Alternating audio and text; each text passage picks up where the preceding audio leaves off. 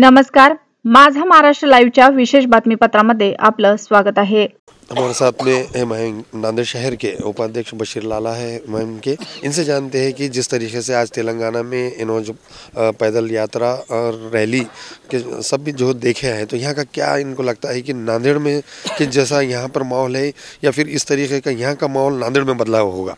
क्या लगता है बशीर लाला यहाँ पर आप देखें कि किस तरीके से जो कैंपेन हो रही है? नहीं कैंपेनिंग तो अल्हम्दुलिल्लाह यहाँ की बहुत ज़बरदस्त हो रही है। क्यों तो हम भी सुबह में डबिलपुरा एरिया में जाके पूरा कैंपेनिंग किए है वहाँ पे जाफ़र हुसैन साहब के साथ में। तो माशाल्लाह बहुत ज़बरदस्त काम है यहाँ पे। और यहाँ जैसा काम है, महाराष्ट्र में हमें इससे अच्छा काम करने की कोशिश करेंगे हम भी।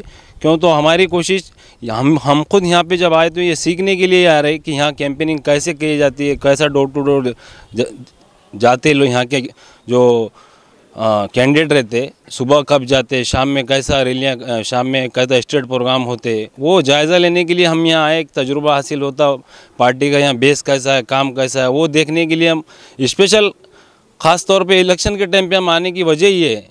और इन जो इस पे नौ सीट पे जो काम हो रहा है इनशाला वो ज़बरदस्त काम हो रहा है और नौ की नौ सीट जीतेंगे ऐसा हमको अल्लाह से उम्मीद है।